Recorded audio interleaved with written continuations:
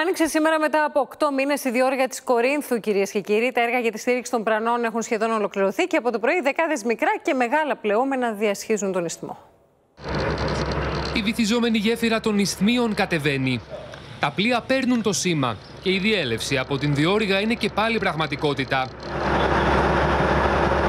Έχει περάσει αρκετά μεγάλος αριθμός πλοίων. Εάν συγκρίνουμε ημέρα με ημέρα, μπορούμε να πούμε ότι είμαστε 10% περισσότερο για πρώτη μέρα που ανοίξαμε από χθες το βράδυ. Μετά από 8 μήνες εργασιών αποκατάστασης, ολοκληρώνεται η πρώτη φάση των έργων και ήδη από σήμερα το πρωί δεκάδες σκάφη διέρχονται από τον ισθμό. Ακριβώς πίσω μου βλέπετε δύο μεγάλα ιστιοφόρα γεμάτα τουρίστες που και πάλι ξεκινούν από σήμερα το πρωί να περνούν την διόρυγα της Κορίνθου. 7.000 υπολογίζονται τα πλοία που θα αξιοποιήσουν και πάλι αυτό το τεράστιο έργο για να γλιτώνουν περίπου 13 ώρες από το δρομολόγιο τους. Ανάμεσα σε όσους περίμεναν την επαναλειτουργία και αυτοί οι Ισπανοί που ξεχυμόνιασαν στην Ελλάδα με το σκάφος τους και τώρα ανοίγουν πανιά για Ιταλία. We leave Leros in the beginning of March.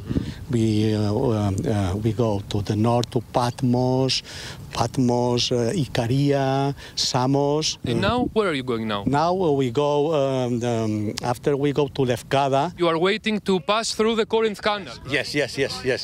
And, and I'm very happy. Με την κάμερα του Sky πραγματοποιούμε αυτοψία αυτή τη στιγμή και κάνουμε τον διάπλου του ισθμού της Κορίνθου για να δούμε την πορεία των έργων αποκατάστασης του ισθμού. Η διόρυγα άνοιξε για την αυσιπλοεία από χθες το απόγευμα, γύρω στις 8 η ώρα και από εκείνη τη στιγμή δεν έχει σταματήσει. Δεν έχει μείνει ούτε ένα λεπτό χωρίς σκάφος. Αυτή τη στιγμή ένας μέσος όρος ε, διέλευσης είναι περίπου στη μισή ώρα, από 25 έως μισή, λεπτά έως μισή ώρα.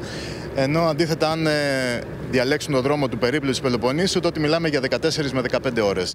Η διέλευση των πλοίων θα επιτρέπεται έως και τις 30 Σεπτεμβρίου, οπότε και θα διακοπεί για λίγους μήνες ξανά, προκειμένου τα έργα να ολοκληρωθούν.